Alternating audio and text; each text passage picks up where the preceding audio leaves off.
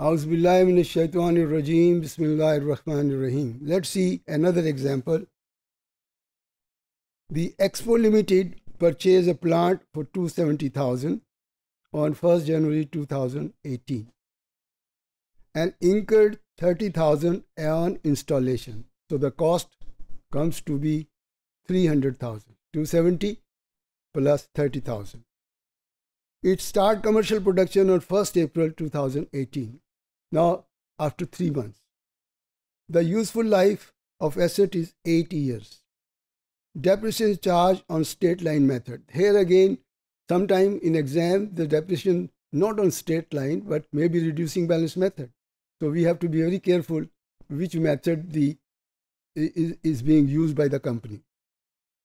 Due to lack of demand, the utilization of plant reduced significantly. That is a factor which affects the impairment. An impairment test carried out on 31st December uh, 2020, exactly after two year, two year, one hour, one year and nine months. Now here again, how much depreciation we charge for 11 and 12. So it depends.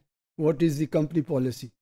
If they charge on use basis, then the first year they should charge only for nine months, and the second year they charge for 12 months. But in this case, we assume that they are following year-end balance and the rate on that.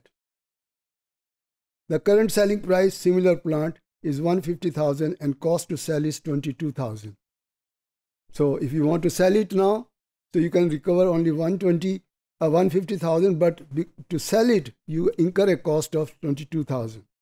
The new cash flow in net cash flow in keeping use of for the next five years because three years have expired is first year is 50,000, second year is 40,000, third year is 30,000, fourth year is 2,000, and five year is 1,000. And I haven't mentioned here any residual value.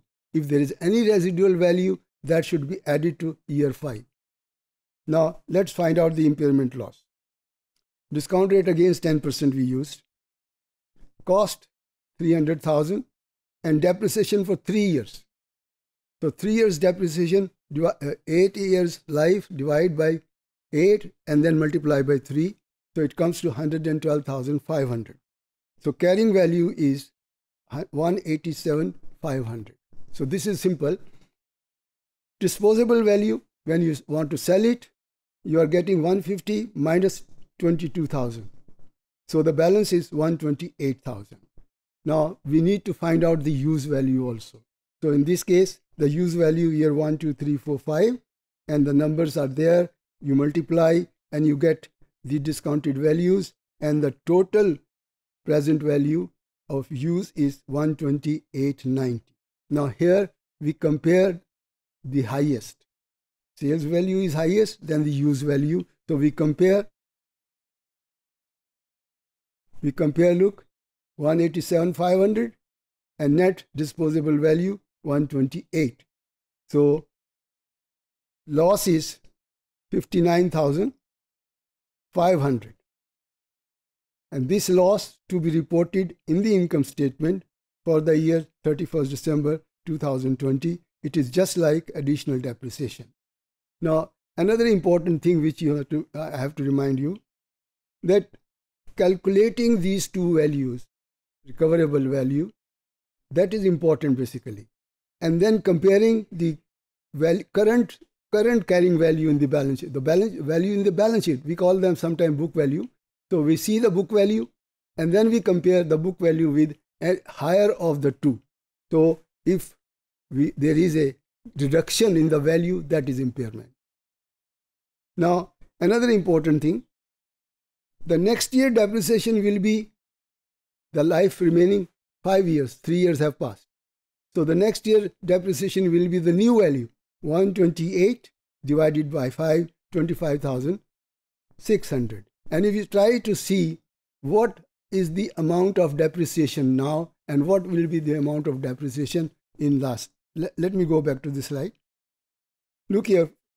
If you divide by 300,000 by 8, so the depreciation is how much? Just calculate it. It's less, it is greater than the value here, 25,600. That is 33 something. and here it is 25,600. So that is the impact. In fact, uh, we our depreciation reduces when the assets carrying uh, the recoverable value reduces. And that is how they compensate. Thank you very much.